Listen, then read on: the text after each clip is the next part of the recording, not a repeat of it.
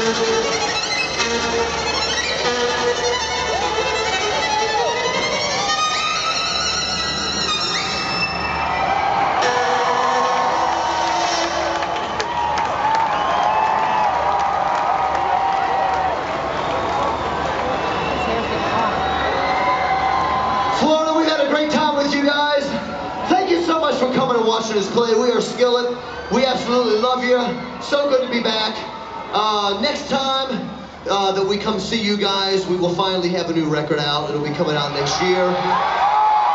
So, uh, till then, we love you. Thank you for coming. We got one more song. Good night, people.